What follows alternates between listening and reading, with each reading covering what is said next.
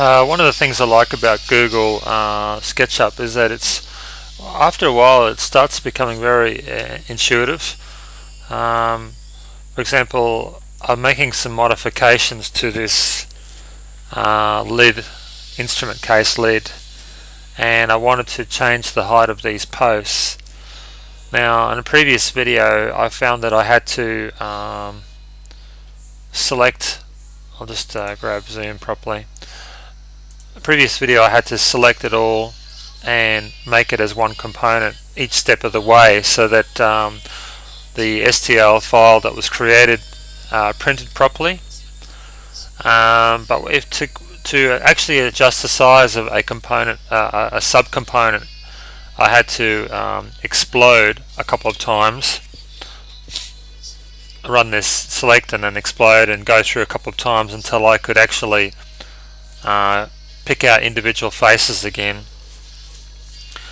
Um, and now to adjust this, basically um, I go to the extrude but push sorry push pull button or sometimes known as extrude and click on that face and drag it down.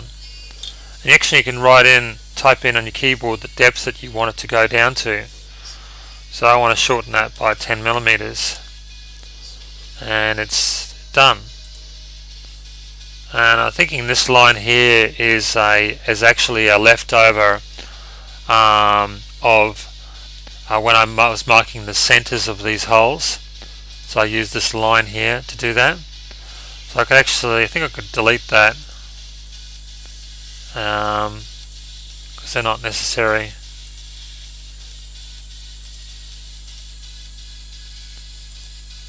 That's just a leftover really grab this one too.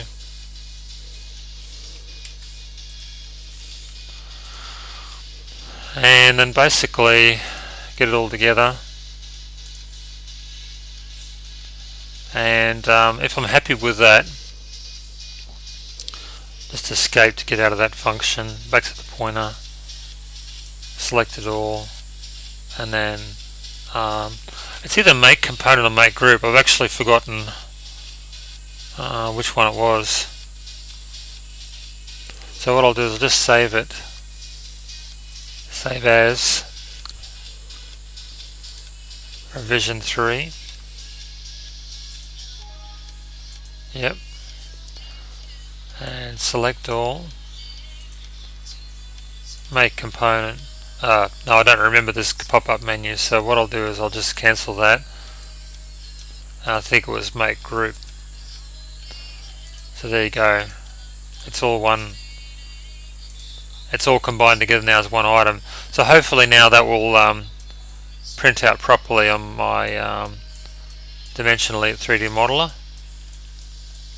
And you can see I've got some embossed writing which I don't think was there before. All I did there was just draw and um, oh, what is it? Ah, yeah, 3D text and just write the text in, specify height and size, um, and then just place it on that on that level there, which I'm not going to do because I've already got my text in there. Yeah, so that's it pretty much. Save and tools, export, STL. Save. And if I pull up that folder I should have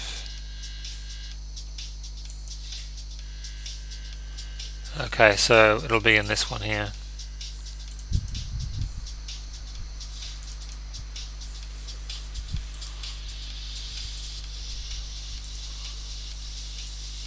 We go, there's my STL file, so I'll go and print that out now.